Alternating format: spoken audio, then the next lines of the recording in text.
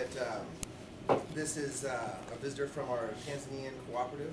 And there's a lot of different projects that are going on over there, and this is going to sum up some of those projects that are in the works.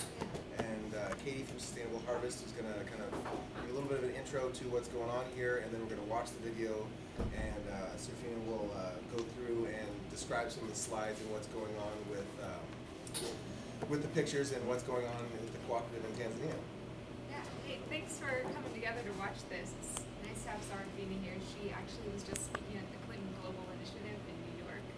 Um, she met Bill Clinton and a number of other celebrities who you can ask her about. But um, she works for the Kanyovu Cooperative, which is part of your One Harvest line, the Kanyovu. And um, that is part of a, it started as a project of Sustainable Harvest where we wanted to bring the cooperative better technology to increase their coffee quality because we knew they had really great quality but maybe not the best processing methods so they just needed a bit of help in bringing that up to snuff. And um, it's I guess the project's been going for about three and a half years now um, and it's been really successful. The group won the EAFCA which is uh, Eastern African Eastern Africa's Taste of the Harvest competition last year so it beat out Ethiopia which is the typical winner.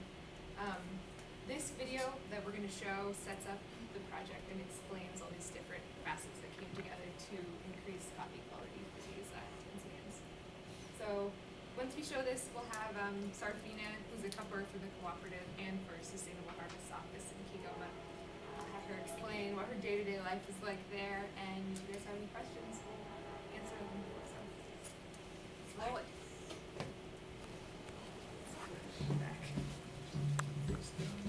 Kigoma is a remote region of western Tanzania where farmers grow beans, cassava, bananas, and one cash crop, coffee, on their tiny plots of land.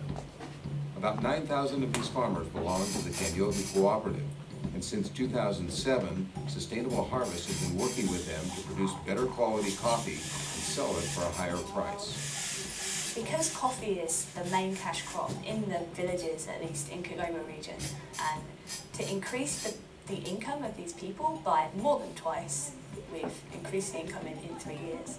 We've done farmer interviews and they're telling us that because of these higher prices, they can send their kids to school this year, they can buy more farmland, they can grow more trees, they can grow more coffee, and it's, it's really impacting on their lives and the lives of people around them, definitely. It hasn't always been this way. For the past two decades, the Kigoma population has grown rapidly. Farmers cleared more and more land for agriculture. They earned little for their coffee and had no access to important North American and European markets. Now this partnership with Sustainable Harvest is helping to change that. When you, you work in Africa as an agronomist or extensionist, you have to make sure that uh, whatever you want to introduce, whatever you want to a farmer to do it, you have to be patient. So when you introduce something today, don't expect that tomorrow farmer would adapt. They need time. So sometimes it's difficult to work, but I, I, I, love to work with African uh, farmers.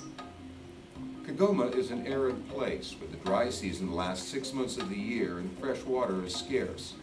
It's not at all uncommon to see women and children having to walk long distances to collect water to bring back for their families. To help the cooperative centralize its coffee processing and use less water, Sustainable Harvest introduced coffee processing machines from Colombia. These Penagos machines require just a fraction of the water needed for traditional processing techniques. Growers trained by Sustainable Harvest oversee the processing stations and the quality of the coffee is now more consistent.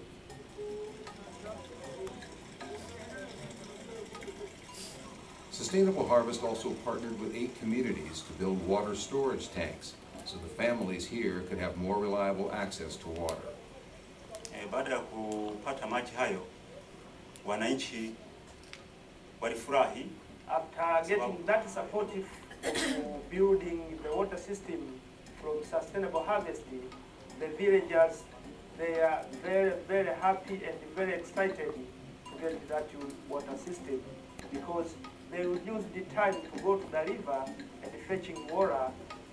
Nowadays, that water out of uh, coffee processing, They use that water for drinking, they use that water for cooking, washing their clothes, and the other things. Solving the water problem was a big step. But that alone was not enough to help the farmers sell their product. Alafu kitu kingine ni wazi, transparency. Yani sustainable wanafanya Working with sustainable is very helpful because there is transparency.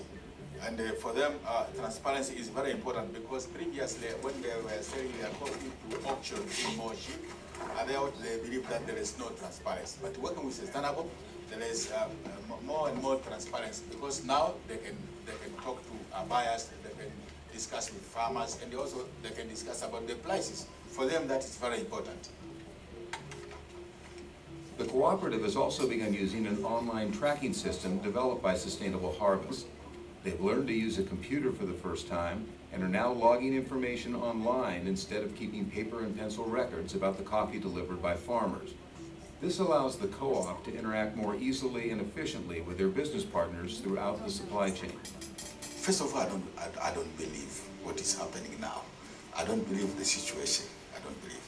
Because when we started the project here, and uh, when you go around in, in the village you can find people, they were drank their coffee on the floor because they didn't know what they believed. That uh, coffee means after they have harvested and then uh, dried, and when it goes to the market, it's only they're being sold like maize. So they didn't care of quality, how to improve their quality.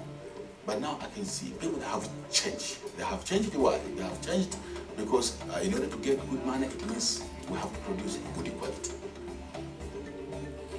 Now, with coffee providing a valuable income, farmers are seeing an economic incentive to reforest the area because coffee grows better under a shade canopy. That's good news for the chimpanzees in the nearby Gombe National Park, where Jane Goodall did her groundbreaking research. The reforestation efforts are creating a buffer around the park to protect the chimpanzees' habitat.